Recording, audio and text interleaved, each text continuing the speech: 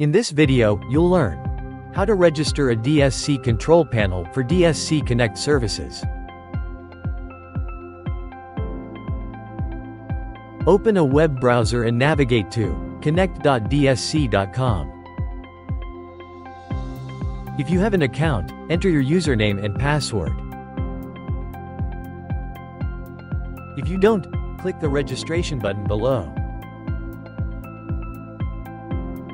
Be sure to speak to your central monitoring station to ensure they are already registered in DSC Connect. They will generate a dealer profile and provide you a dealer code. In order to register a system, you must first add a monitoring station. Click on the Monitoring Station tab. If your central monitoring station is already listed and the status is approved, skip to the next step. Otherwise, click Add Reporting Channel and select your monitoring station from the list.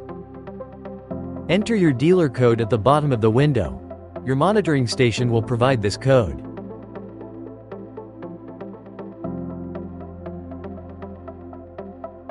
Now, go back to the Devices tab and click Add New Device to register a new control panel.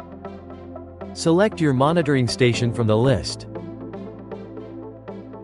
Enter your device serial number and configuration key. These numbers are printed on the registration card included with your DSC Connect kit.